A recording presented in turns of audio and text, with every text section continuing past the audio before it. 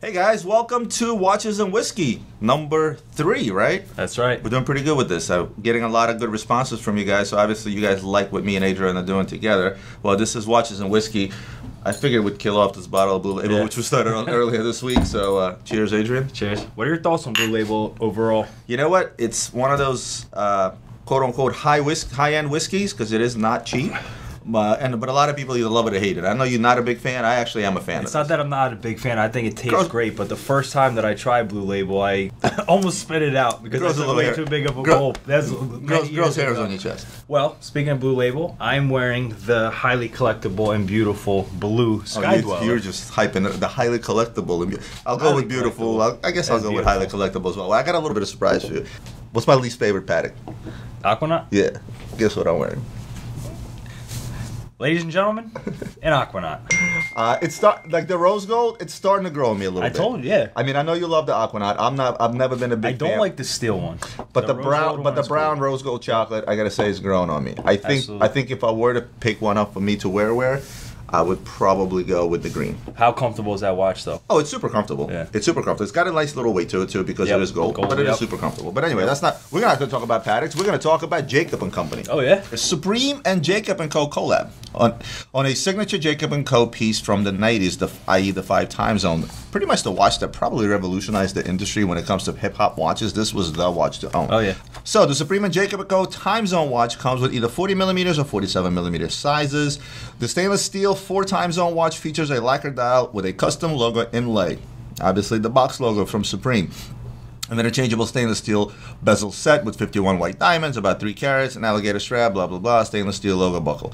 This is a new take on one of Jacob's signature pieces from the 90s, retail 14,000, sold out completely, and now on StockX used for 17 to $20,000. Well, let me tell you something, first of all. You know, Jacob went back into his factory, He found his old ass parts. Because how about this? Jacob still has these five time zones, you know, because they kind of like died overnight. If you remember, like they they were they, were it, They were the hottest thing. I remember and then and then and then we were offered a closeout eleven cents on the dollar. Remember that? so I guarantee you, he took some of his older pieces, just made a new dial. So I'm gonna call an expert. your my- son.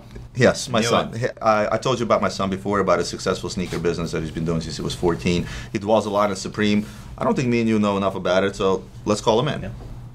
Marcus, What up, big boss? welcome to the show. The supreme dream. We're doing watches and whiskey with Adrian. You're too young to drink whiskey, but cheers to you. Uh, we're talking about the Supreme and Jacob and Co. collab. What are your thoughts on the watches? I like the fact there's a supreme banner right. no, that's not a banner. That's his. That's his uh, curtain. Well, uh, you might as well you might as well you might as well show the rest of your room and all the other Supreme stuff hanging out there. Let's see. What do you got over there? Well, yeah, we got Yeah. the we have the mat, we have the baseball mask, we have that. We got the we, we got we got a little little something going on around here, Supreme. Okay, so tell me about this watch quickly because we don't have that kind of time. What are your thoughts? So, uh, initial thoughts on the drop when they did drop, I was not for the watch at all. I mean, the high retails kind of turned me off originally. The 47 millimeter one retailed for 14,000, and the 40 millimeter one retailed for 12,000. And I talked to you about it once. Get your advice. You told me that probably shouldn't go for it because most Jacob and Co watches trade really um, under retail. So I passed personally. I mean, we felt like I felt like the the, invest, the risk wasn't worth the the return. That's what I felt like. Yeah, and that's I agreed with that. And after the release, I looked, and there wasn't many sales. I mean, not much interest in this, honestly. The watch itself is pretty ugly, in my opinion. A lot of people agree with that too. And so, a few sold for over retail, but it wasn't really profitable. I mean, you can make couple thousand maybe, and it's not like you can find a buyer for these. So, my opinion, Would you think? Would you think that the starting price point is what kind of makes it not attractive? Because uh, although Supreme essentially was a skateboarding brand or whatever, way before it became hype, and I'm like, and then they put it on Louis Vuitton, and it sold through the roof. Right, Louis Vuitton's a little different than Jacob and Co. Anything Louis Vuitton drops will sell. Well, so so at, at the end of the day, do you know of any of your peers or any guys that you do business with that have bought and sold that watch or no? I know a lot of people that sold pre-orders because it was easy to you know backdoor. They only made so many. Um, And we don't and we don't know how many they made, right? They never tell you how many they are made. They never, they never tell you how much they make, but like high, most high ticket items like this for Supreme, I know are limited to anywhere from I'd say twenty to hundred pieces. Oh, 20 like, pieces big, should high bring. ticket items like these. So they are pretty limited, but I, I did see a lot of people going around. Like I had a bunch of people call me. They were like, "Are you interested? Do you need uh, pre-orders for these?" So they were pretty easy to secure because they knew Supreme knew they weren't going to get a lot of interest in them. So they backdoored a lot of these, obviously, as they do with most high-ticket items. But Yeah, like that, like that uh, pinball machine me and you try to buy. listen, there's it's, it's impossible. Why do you think, backdoored before it even before it even gets to the store? from a Supreme standpoint, what is their reasoning to partner with somebody like Jacob and Co. on this release? Why put their name? Ooh, can I on can I can I answer that? Because they made a ton of money. This watch cost them a thousand dollars, and this is Oh. prob most likely this this these watches were most likely watches that he already had in stock. Right, but what if, yeah, but what if, what if as a brand these don't go well, and but, they and, but and they odds tank? are anything Supreme. I mean, Exactly. Yes, Guess what? but- but these these watches sold out within I want to say five minutes. So Supreme doesn't care. They're making their money. It's the it's the resellers that aren't making the money. you think you think you think all of them went to resellers?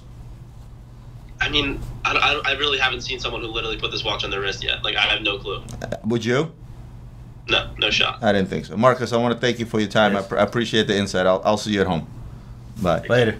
Now, speaking of Jacob and Co, so look, uh, he thought it was a dog to begin with. He still thinks it's a dog. I he didn't put his money into it, and Marcus is not afraid to invest his money. He didn't think that it was a good investment to begin with. And for all you guys out there that I wanted to pick up that Jacob and Co, let me be flat out. If one of you guys out there bought it, two to three years from now, if you're going to bring it to me, I don't see myself paying more than $2,500 for that watch. What about you, Adrian? Thousand percent. But speaking of Jacob, I do take my hat off to Jacob for some of the innovative stuff he's Hard. done over the last few years. I mean, some of the watches he's made, the jewelry. Astronomias. well, speaking of astronomias, here's one for you. Swedish explorer and adventure activist Johan Ernst Nilson recently climbed the Himalayas with Jacob and Co. Astronomia strapped around his wrist. Despite altitude of 20,000 feet, temperature as frigid as minus 22 degrees Fahrenheit, that's freaking cold. What is that in Celsius?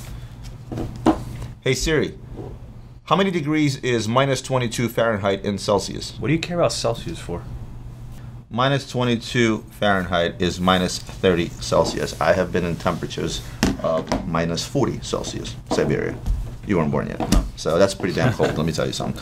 Uh, you know what they say you spit in the freezes. That's actually bullshit. It doesn't, it doesn't freeze in the air, but it will freeze on the ground almost instantaneously. Taking a leak, not a good idea. Some things may fall off. But anyway, the Astronomia performed perfectly, inspired by his rugged nature and the need to address the impact of climate change he witnessed while traveling to 172 countries. Nilson is partnered with the Swiss watchmaker on a new version of this house classic, the Astronomia Everest. Nilson explained, the Astronomia is the only watch I've ever had people ask me about while I'm wearing it. So we will be starting conversation that hopefully will lead to change. This special edition will spread the word about the fragility of our planet. The Jacob and Co Astronomia Everest package is available for $884,800. Every piece comes with a rock from Mount Everest and a trip to Mount Everest by helicopter with Johan Nilson himself. I mean, Total gimmick. but for a good cause. I mean, I- obviously, this guy is an advocate for saving our planet and global warming. And What does a of that Jacob. Astronomia Turbo have to do with that? Well, that's that's Jacob getting his name out there. Yeah. I don't know if the Astronomia Terbium fits the bill though. Well, that's exactly what I'm saying. Like, let's say other high-end brands, Richard Mille, which I always like to use, uh, Nadal wears his watch while he plays tennis. You know, it can absorb certain impact, or certain Formula One race car drivers, Romain Grosjean.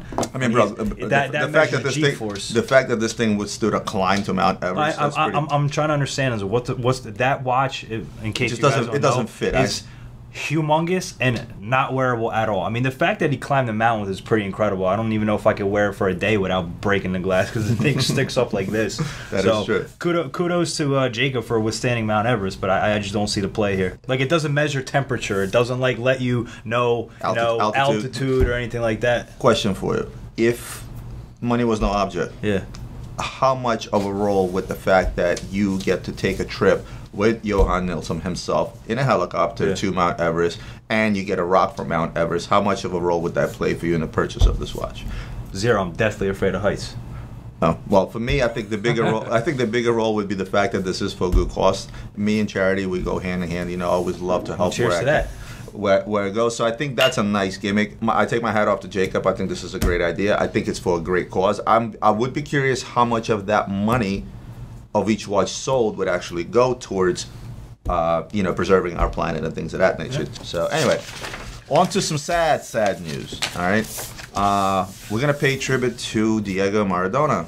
Okay, I mean this guy was, in my opinion, again, my, it's really even not even my generation. It's probably our parents' generation. He, he was God. He was it. Him along with Pele are Yeah. probably two of the best soccer players that ever played the game, that ever lived. And it is Messi unfortunate that? Huh? Better than Messi and Ronaldo? You, you can't you can't Ken. compare you can't compare it to these these are these are legends. It's like comparing Jordan and LeBron. Ken, absolutely. Physicality didn't change But soccer. that's not what this is Didn't about. I actually wanted to raise a glass to Diego. May he rest in peace. Uh, we can play maybe a, a little uh, sizzler that my guys put together about his greatest moments.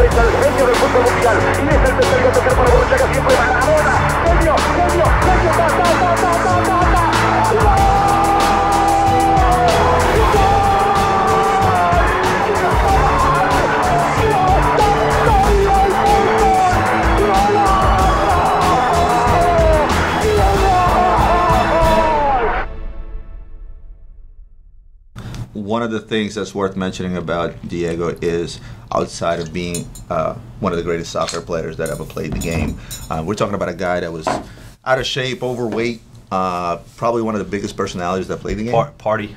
Party guy. Yes, that guy liked to party, that's for sure. He's always worn two watches on his wrist. Do you know why? No. Because one of the watches always showed his home time, Argentina, and the other watch he used to show uh, the time where he physically is.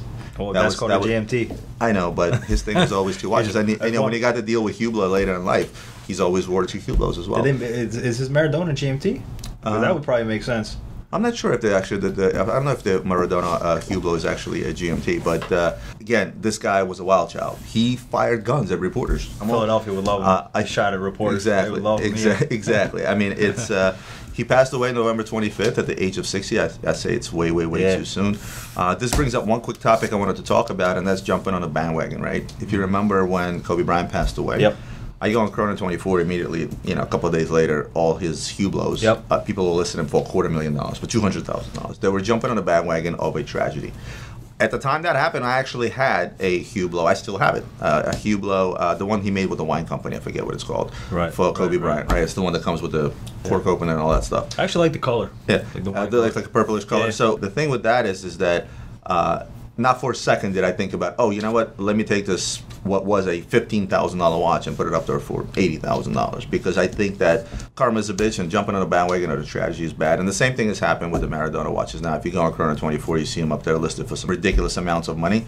Uh, you on our uh, chats, I, I saw a couple of dealers right away post looking to buy a Hublot Diego Maradona, looking to buy a Hublot. You know what? Not as obviously not as many as Kobe though. Like right after Kobe died, everybody started looking for his watches. Yeah, I, I, I, I agree. Like with, I agree with you. I just I just hate that. I mean, if, if you're a watch dealer, if you're a successful watch dealer, why would you want to? If anything, take that watch, put it away, keep it for yourself. No, I think. Listen, I think I think customers were legitimately looking for them, like big fans of the of this of the of Right. It's one. It's one thing to go out there and try to find one for a client if you have a Yeah, I think that's one, pretty right? much. I don't think people were buying it for No, but but really no, but so. then but then you start looking at some of these listings on eBay and Chrono, and you see these uh, things up there for some ridiculous amount, ridiculous amounts of money. that that's them fishing. That's just them simply putting a crazy price in fishing. Possibly, possibly. Look, uh, let's face it. Hublot Diego Maradona was not something that ever sold over list. Right. Neither any of the Kobe Bryants, due to the fact that Hublot makes way too many limited editions. And uh, yeah, they were popular. People bought them, but it was not something that ever went crazy over list. You know. So again. I, when I saw those listings of Chrono 24, I literally wanted to send him a message, just be like, really, like, Yeah. like, have you no shame type of thing. Yeah. know, it's just, I don't, I don't get that. Anyway, I think there's a grace period that needs to go by before. You know what I yeah, mean? yeah. There's like a certain Yeah. grace period. Otherwise, And if I if like- I were if I were to sell that Hublot, I'd probably just put it in an auction. I wouldn't want to put up a listing on my website for let's say sixty thousand dollars. Auction is a great idea. Yeah, actually. auction is Yeah. probably the one, and and I'll, I'll, I'll I would do one even better. I'd probably put it in auction, and I would maybe take the proceeds and donate it to a charity that Kobe used to support, Yep, or a charity of his sure. family's choice. You know, his family has money, so you know I'm sure there would Yep. there's a charity certain that they could probably identify. Uh, let's see. Let's talk about uh, story time, right? Recent purchases, losses, things you regret buying, things we wish we would have bought. What you got? Zero regrets this time. Really? It's been a good couple weeks. You must have bought and sold over a hundred Rolexes in the last A two lot, weeks. a lot of them. I Just like mean, raining Rolex. it's raining Rolex like crazy, and uh, Adrian is just you know Adrian, Adrian is going for easy money this last two weeks. all right, and, listen. and easy money for obviously the company and himself as well, but. Uh, He's just every day he walks into my office like I'm gonna need you to send 70 here and 50 here. What'd you buy? Rolex. And after about five times, I stopped asking him. I was like, "Let me guess, you bought some more Rolexes." And they're going in and out, in and out. I think uh, you managed to go through pretty much every color of the new OPs. I, Yeah. I think we have a red one downstairs still, Yeah, which Coral actually 36. it's coral or red. I don't- yeah. I actually like it. Yeah. I like it live better than I liked it on pictures. Like when they first came out with the spunky colors, my initial reaction was the Tiffany, right? Yeah. The turquoise. Uh, the yellow I thought would be pretty cool, but It the, is cool. But the red, the red is actually really cool in person. Agreed. should, I, we should, I- should have brought I it thought when, when they first released it, I thought it was just a big gimmick. I was like, what are these colorful watch- watches? But they look cool. But actually, when they come in person, they, Yeah. they got some personality, I gotta say. Here's a story. Guess what? It involves another loss, and it involves Richard Mille. It seems like every story we've told so far, somewhere, somehow, we misplaced Richard Milles. This is the biggest potential loss that this company would have taken if I lost these Richard Milles. Las Vegas show, IWJG. It was uh, it was one of those shows where we have the IWJG show back to back with JCK and the Antique Show. It's in May. Three shows in a row. We're usually in Vegas for two weeks. We're going back to the times where we had 30 Richard Milles, 40 Richard Milles in stock, right? I mean, we had ridiculous amounts of Richard Milles in stock. We came to the show, we had about 60 pieces. RM11s, RM1102s. Oh, it's a long time Uh, this is a long time ago. We- We're, we're talking about a time where these things were trading around 100 grand. Well, at the end of the show, I'm like a I'm, I'm like the guy that likes to pack. So I'm the guy that I won't let anybody touch my merch. I like to pack everything. I know where every watch goes. I'm You're a very good packer, by the way. I know. I'm anal. I'm super anal when it comes to. They call me the packing. They call me the packing Nazi. So it, it is what it is. So what I also pride myself in is my visual memory, right? Like I can meet a guy and three minutes later I'll forget what his name was. But when I pack something, I have such a good visual memory. I can literally tell you which bin, which watch was in it, and which tray. As we pack on, from the one show, that very same day, that merchandise gets transferred to the antique show where we unpack everything, put everything in a safe, and so on and so forth. As I'm unpacking at the antique show, all of a sudden the cold sweat breaks through, and I was like, shit, I don't remember packing Richard Milles. The minute I opened up the first bin, mind you, we've traveled like eight to ten bins, right? But jewelry and watches a lot of bins. And after I opened up the first bin, I'm realizing I don't remember packing those Richard Milles. And Gary goes to your dad goes, he's like, well, don't panic. You still have eight bins. I'm like, no, no, you don't understand.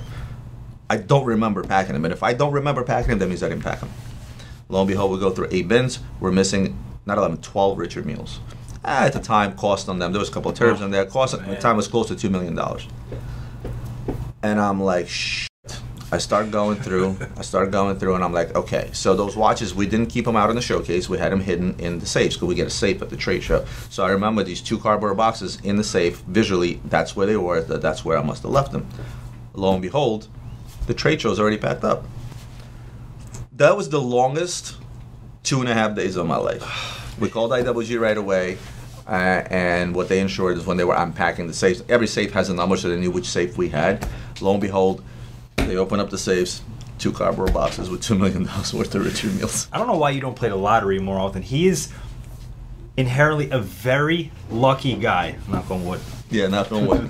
as we say. He's always always winning some type of uh, prize wherever we are. Uh, Yeah. you know.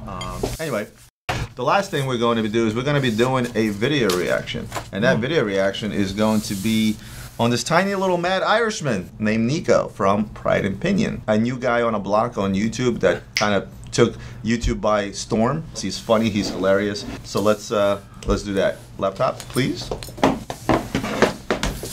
Nico. And I guess what you guys did is you put a little scissor together with his best moments from his previous videos. Let's see what you got. You can tell a lot about a person when you look at someone's wrist. I'm just going to give you my honest opinion. I'm not a big fan of customizing watches. Keep a watch original. Love his accent. Love the accent. And this guy, the way he dresses is like it's not. He's not us. He's not t-shirts and jeans Just guy. like bums around He's- here. Yeah, we look like bums in comparison to him. This is a AP Royal Oak chronograph offshore with a army blue rubber strap. I mean, this is rapper type of style. Like he is 60 year old rapper. Well, this one comes with an alligator strap. Um, He's making fun of the word strap. because it will destroy the the, uh, the alligator. So You destroy an alligator strap when you swim. What the fuck? What is the natural habitat of a what an alligator is? now that you can activate this and press this one, it stops the second hand. It was already going. Did you just hear what he said? This guy knows fuck all about watches. All right, I got to defend producer Michael. He's a good customer. He's a friend, uh, and I will tell you, I agree with him. He knows a f- all about watches. He likes them.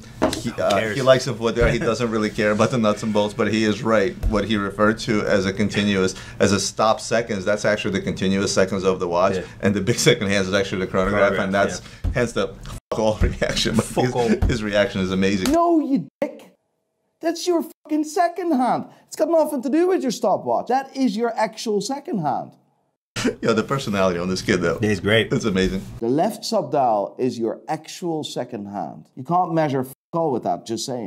All has got to be one. Of, all, what's yeah. going to be one of my favorite Yeah. English slash Irish. I didn't even know that that was an expression. Fully blinged out Patek. I can't say what I want because that's politically not correct, but he destroys this fucking 5711. This is like, you see this beautiful painting, this Rembrandt? You just grab your dick out of your fucking.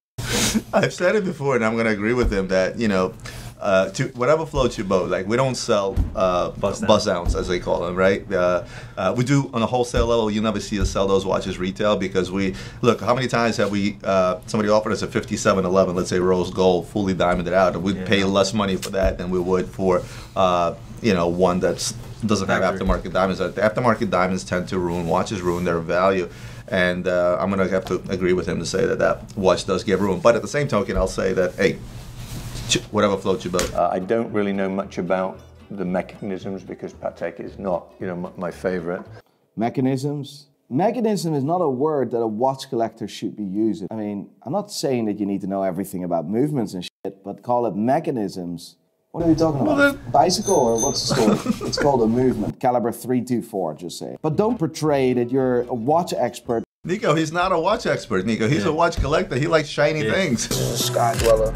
This is the big boy road. I'm passing this immediately because this is unacceptable. this is a Rolex Sky Dweller that you literally fucked in the ass. Sky Dweller, two-tone Rolex. Who are you kidding? That's not 80,000 US dollars. That's a two-tone. Golden steel Sky Dweller, $15,000. You threw a few diamonds on. It's probably worth $10,000. I guess this is more of the same. Where Yeah. you know, I agree. I agree with him. One of the things I've always done on my channel is I always told it like it is, and I think this guy takes it to the next level. In fact, I think it's the accent that does it. Well, the It's- accent and it's harder and- for you to be I, that mean, funny. I mean, he drops an f bomb every other word, and you know what? I'm, I'm gonna be. Can I be that honest with you? I wish I did that. I just I kept my channel a little more PG for various reasons because you know I, I'm, I'm aware that sometimes kids can be watching and things of that nature. But this guy's doing exactly what I do, but in a much more colorful way. this is money down the drain and bullshit. I'm gonna agree with that. With that, there, money down the drain is definitely. New set AP, My honeycomb set. I think I paid like maybe 55,000, 60,000 You got a ripped off. minute ago. This guy literally has been penetrated from behind without being kissed first. If 60 grand for that, he has been definitely taken from the backside before he's actually being, being kissed. Yo, Ian, you gotta take note of this editing, Ian. I mean, This, then I That's like ridiculous. This, then I stop it. Don't ever destroy the god of all gods, Casio.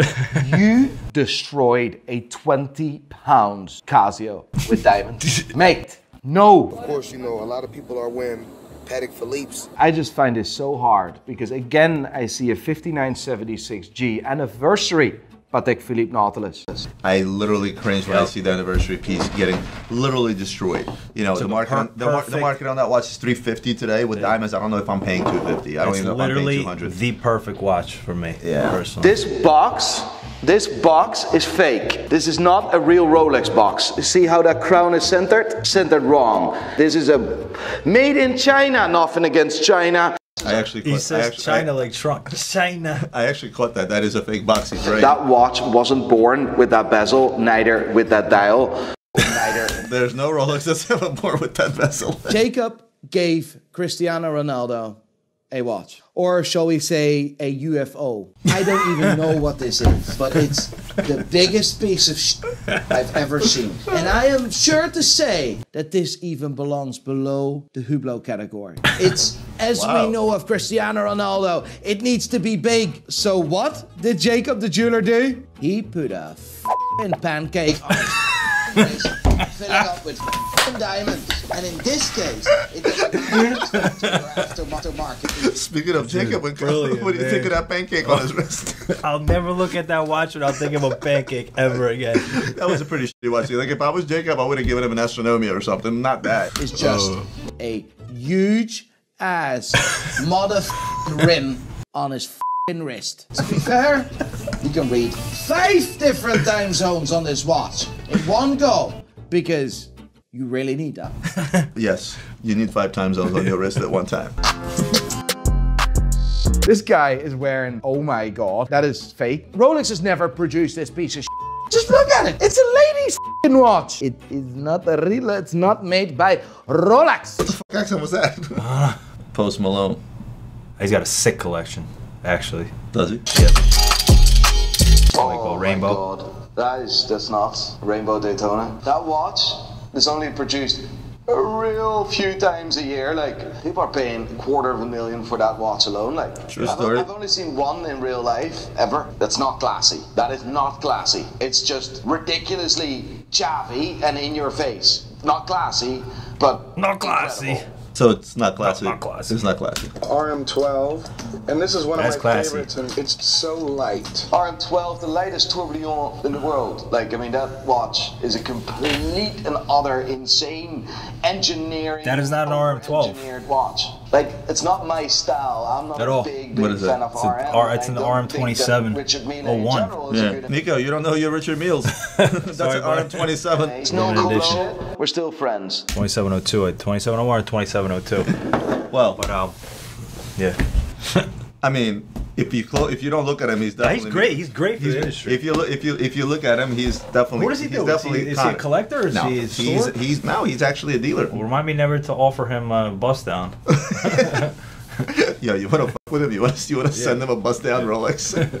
we're gonna get his address. We're gonna eat, we're gonna mail him a bust down Rolex and see what his reaction is. I gotta tell you, he's raw. He's in your face, Yeah. and but he does what I do. He he tells people exactly how it is. But I think uh, a lot of entertainment value there. Yeah, for right. sure. So I'm gonna tell I'm gonna tell Nico very very entertaining. Keep doing what you're doing. Cheers, Uh, Nico. I couldn't I couldn't do what I couldn't do what you do. I just I can't drop an F bomb every 40 seconds. I think what you should do is what is uh, put a pillow under the seat. You're not that tall. We can see that, right? Maybe prop him up a little bit higher on the Talking set. him or me? Not you, him. Oh. Nico, grab a pillow, prop yourself up, make yourself look taller. All right. Camera adds a few pounds. Hit the gym for sure. All right. I can. Well, let's see what you're rocking. Yeah, If and you're uh, talking shit, if you're talking shit on watches, at least you gotta be presentable. Well, he, he usually way- he usually wears a 5990. I don't know. If Oh, does he? yeah, Nice. he usually Well, wears his 5990. But he's he's bought and sold some pretty That's premier classy, vintage things. He says. What is it? Classy. What did you say? Classy. Classy. I wonder if us not talk- classy. You know how he sounds funny to us. Yeah. I wonder if we sound funny to him. we probably sure. do. Our English definitely probably sounds funny to, to you. I mean, mixed in with a hint of a Russian slash Brooklyn accent. I'm sure we sound funny as shit. But Nico, definitely entertaining. Definitely got some laughs out of it. Let me tell you something. I don't watch a lot of watch YouTube channels out there. In fact, not religiously, but your videos are it. And recently, Yeah. my boys turned me onto your TikTok. That's even funnier. You guys check out Nico. Definitely worth a watch, and I'm not surprised why you climbed up in subscribers so quick and so fast because your stuff is definitely entertaining. Gotta say, definitely the second best uh, watch YouTuber out there. Thank you. Number one is me. Adrian, you want your own channel? Oh, good man. So I'm going to leave this off with a question to you, Adrian. Do you foresee the hype on the hype? Don't believe the hype is a sequel. The hype on the hype. yeah. Stopping in any time soon. I'd say adjusting. I think maybe it's gonna. I, I don't know if it's again unless some type of global economic catastrophe happens. I don't see things really taking a deep dive like they did in March. Let's say suddenly. I think there will be an adjustment, but I still do think that the markets will remain hot. I do. I'm going to tell you that we won't see an adjustment for a long time. Maybe even a long time. And I'll tell I you agree. why. Because people are out there are putting money into trophy assets, and what we do for a living and what we sell for a living are indeed trophy assets. And I think this trend is going to continue. Is going to continue for a while. And unless something drastic like an 08 crisis goes Yeah. down, I don't see this market cooling off anytime soon. Now, this doesn't mean you guys should go out there and invest into watches. No, buy what you like first and foremost. These things are not At the same investments. time, I don't think- But it's not. A, I don't think it's a bad place to park money. Right now. Watch it right now. Just these type of trophy assets, be it, be it high-end Yeah. jewelry pieces, high-end watches, hot stuff. The downside is you're going to pay through the roof.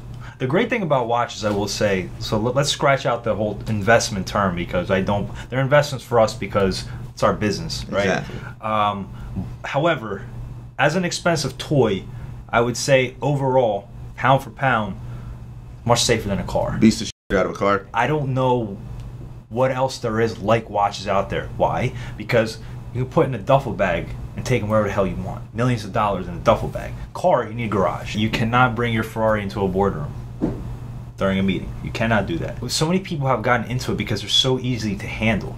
You know, they're very expensive. There's money to be made. There's not a lot of storage. You don't need storage for, for watches. You know, it depends how big you get, but a small safe will do the trick. Because any watch you can call a multitude of dealers and you get a check written on a spot or a wire or whatever it might be. You call 300 dealers. You can call you, when you call car label, dealers. it's gone. Yeah, and or car dealers, it's uh, you know you pull up in a Ferrari. Not every dealership is going to want to write a check for that Ferrari. Yeah, you can put an auction, but it takes time. I think instant liquidity. I think nothing out there beats watches. No art, no fine wines, no antiques, no antique guns. Speaking of which, I didn't bring any guns to the show this time. Next show. If you do want to touch upon one investment type of point, it's how quickly you can, how liquid your investment is, right? You- Just like you can sell off stocks Right. instantaneously, sense. you can sell off watches, and I don't think you can do that with cars. I don't think you can do that with art. I don't think you can do it with a, a lot of these other trophy assets that are out there. Well, one more drink, guys. Thank you for tuning in once Yes. again. I hope you enjoyed today's episode. As always, shoot me an email, shoot Adrian an email. Uh, let us know what else you'd like to see discussed on these shows. Uh, let us know uh, what you want us to talk about because we can talk for days, and this is what makes this show a lot of fun. We'll see you guys next week. Cheers.